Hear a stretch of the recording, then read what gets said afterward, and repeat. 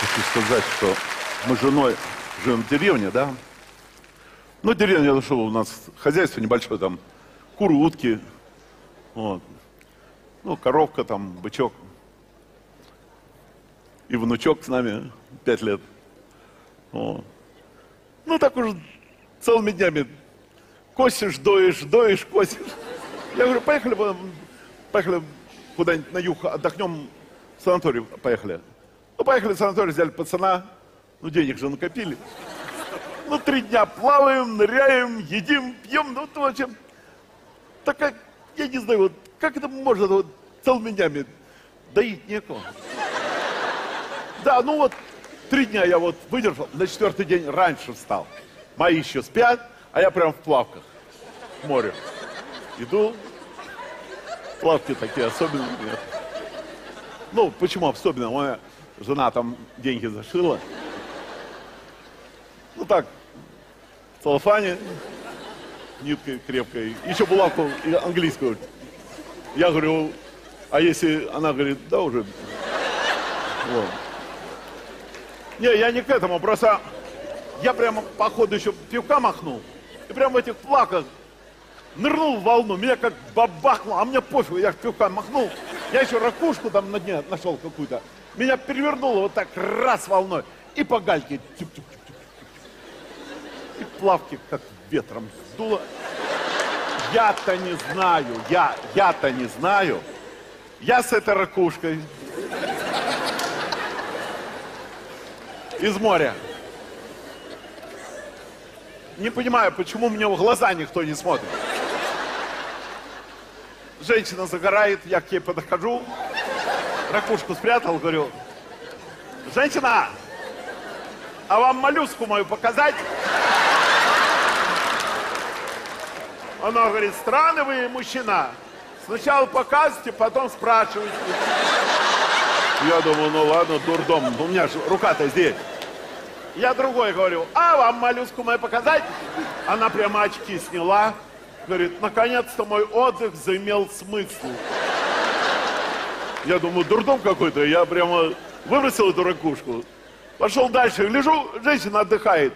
Ну, явно наша, значит, деревенская. Потому что купальник цельный, цельный, вот, прям по колено. И халатик, еще, ну да, платок надела и резинные сапоги. Я, ну, думаю, ну, не хочет обгореть.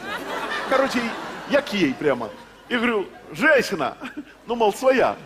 Ну, ей хозяйство у меня. Я говорю, женщина, а у меня большое хозяйство. Она на меня глянула, говорит, мужик, не преувеличивай. Я говорю, а, а вы что, видали мое хозяйство? Она говорит, уж не слепая.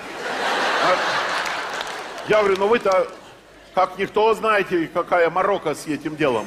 Она говорит, подозреваю, да. Я раз с утра, вот, знаете, вот я ни свет ни заря скакиваю, пока всю живность во дворе не обслужу, не успокаиваю. Она говорит, слышь ты, мужик, я тебе не живность, ты иди отсюда, маньяк чертов, а то я тебе сапогом огрею.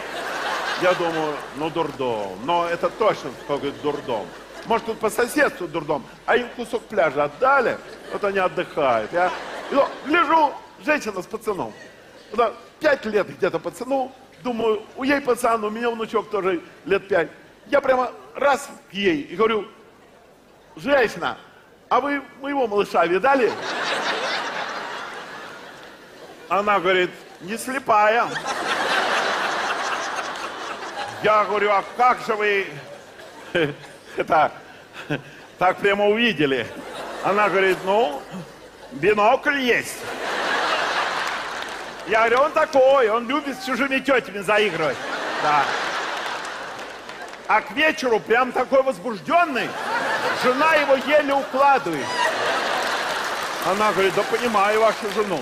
А вот с утра мы еще спим с женой, а он под одеялом прямо и выскакивает прямо из-под одеяла, и как хочет.